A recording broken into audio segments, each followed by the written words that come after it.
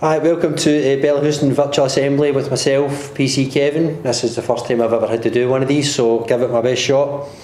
Uh, of course, we're spending less time in the school at the moment, um, and the majority of you are spending a lot of your time at home at the moment, so I hope that's going okay for you. Um, I am out and about still in the community, so still seeing some of you when I'm out there, and I've knocked on some of your doors and things for good reasons. Um, uh, whilst I've been out and about the community, so I'm still seeing some of you, and of course there are still kids still in the school. But whilst I'm back doing my day job at the moment, for the most part, still feel very much part of the school and hoping everybody's staying safe out there. Uh, living in very strange times at the moment, so as I say, I hope everybody's finding a way to cope with it. For me, I've just had inconvenience and boredom to deal with, really, which I can handle because some people are experiencing some real difficulties. So I hope that you're managing to cope with it okay um, and that your family hasn't been affected with ill health. And of course, if everybody tries their best to stay within the regulations and the restrictions, then hopefully we'll go through all of this as soon as we can. Um, because we're doing so much online now, things have changed. And ordinarily, young people are told to spend less time on their screens, less time on their phones, less time on their iPads. But of course, it's went the complete opposite way at the moment, where you're doing online learning and you're asked to spend more time on that. Um, there are positives to this because we're all getting a bit more tech savvy and that we know how to use things like Zoom, Microsoft Teams, and doing online learning. Um, and that's all positive, but there are negative aspects as well to spending so much of our time online, and of course, some of that falls into what is my day job really, and looking at crime. So I'm just going to touch on some things at the moment, um, generally to try and keep you safe, uh, to remind people of what the law is, so that we don't have any of our young people breaking the law that, that we just don't know, um, and just some general tips about online safety, which I hope is a benefit to the young people in our school and in our community. Um, what I'm hearing in terms of social media Um, I spoke to a pupil the other day and they said in terms of followers on social media, it can be sometimes it can be a numbers game. So if you're somebody who's maybe Instagram or TikTok and you don't have an awful lot of followers, it can be seen as a bit of a negative. So I asked that young person in terms of their online followers uh, and the huge number that they had, how many of these people that they'd actually met, and the number was frighteningly low. So what I'm finding is that it is a numbers game with young people and that they're, they're accepting friend requests and followers requests from people that they don't know. The numbers appear boosted and that may, may appear as some sort of a kind of popularity, a way to measure popularity. The difficulty with that is there's a lot of people online, I'm sure you've heard of catfishing before, there's a lot of people online who are pretending to be somebody else. Eh, um, in the community, I've heard of some things where that has happened and it's gone quite badly wrong. So I want to make sure that Bellahousen pupils are a wee bit more uh, on top of that. So you've got to ask yourself if somebody is sending you a follow request, it might not suffice if they're just a friend of a friend of a friend. I would rather the, the pupils in Bellahousen knew had less people online followers, but they actually knew who they were and they'd met them, uh, or they were absolutely certain who they were, rather than they had hundreds or thousands of followers and they had no idea who they was, because not a great deal of positivity comes from that. As I say, I've heard of crimes being committed through that measure, and I've also heard of online bullying going through there.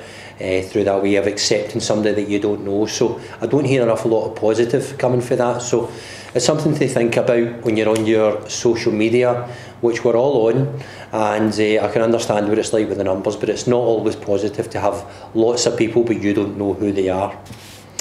Um, in terms of the law, I'm just going to touch on some things and I'll put it into a language that you would you would understand rather than quoting the law specifically.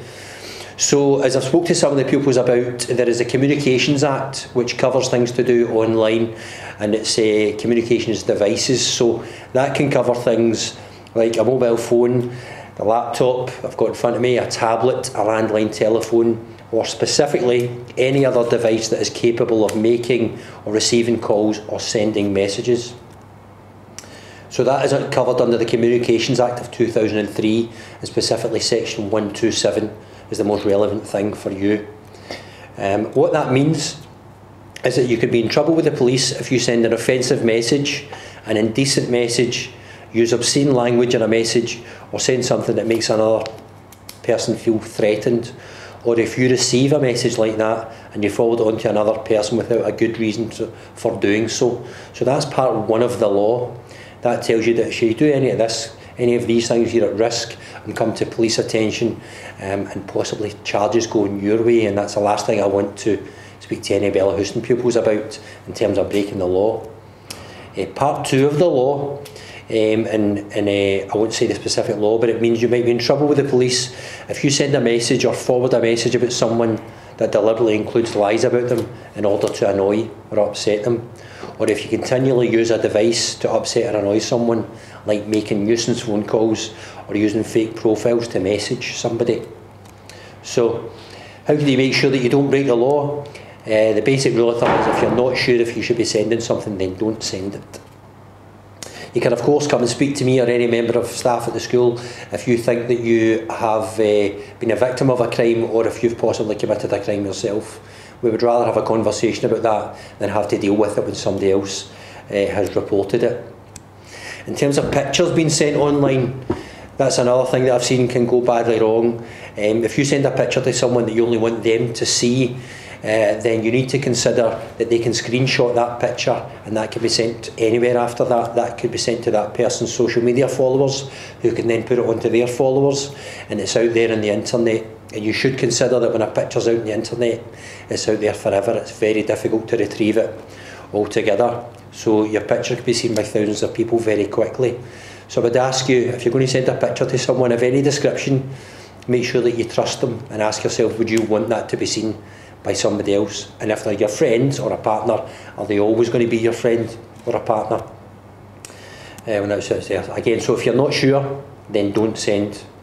Um, what I'm also hearing, unfortunately, is some things, some bigger crimes and some more serious crimes have happened in the community where young people have been on their phone and, for example, they've added somebody on Snapchat that they're not entirely sure who they are um, they've got into a group chat with them and it's very badly went wrong after that and more serious crimes have been committed towards a young person um, and that's something that we want to make sure doesn't happen. So a couple of things in there to do with the law and how you can stay safe and make sure you're not a victim and also to make sure that you're not breaking the law as well because that's the last thing we want for any Bellahouston pupils. But lockdown is difficult as it is. I hope it's going okay for you and you're keeping safe and you're keeping healthy hopefully we'll all back back in the school soon. Thank you. Cheers.